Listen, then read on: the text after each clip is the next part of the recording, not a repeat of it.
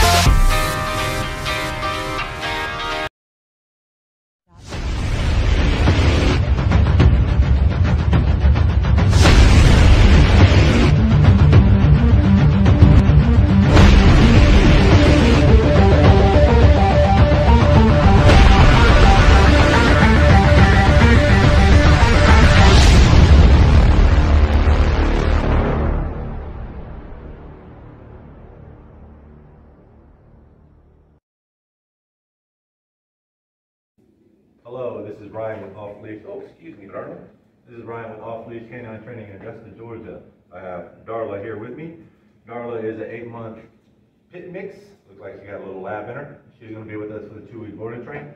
Owner's complaints with Darla is mostly she's just really shy. She's shy, she's nervous, she's skittish, um, out in distractions, public environments, things like that. She gets very, very nervous, nervous, startled, scared with things going on.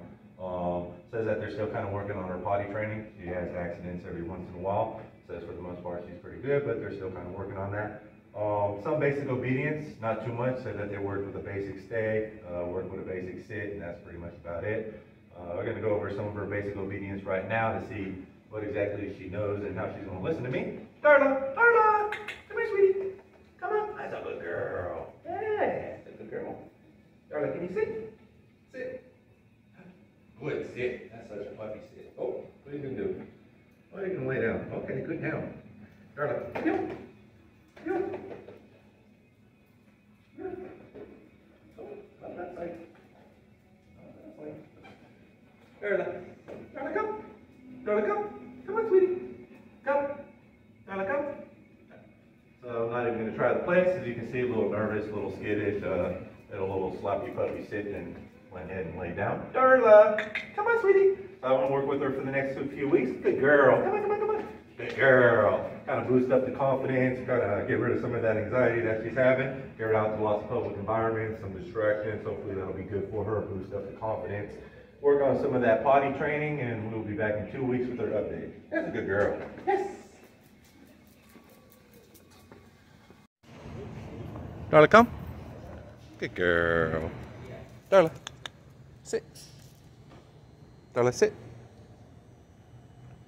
Darla, sit. Here's slow sit. Good sit. Here's a good slow sit. Break. Good girl.